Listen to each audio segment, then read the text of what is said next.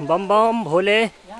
और चौरागढ़ के लिए हम लोग खड़ी चढ़ाई पर चढ़ते हुए बहुत पहाड़े वाला रास्ता बहुत मुश्किल हो रहा है इन रास्तों पे चलना।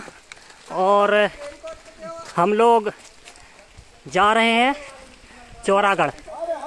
जय हो महादेव। और अभी बारिश हो रही है।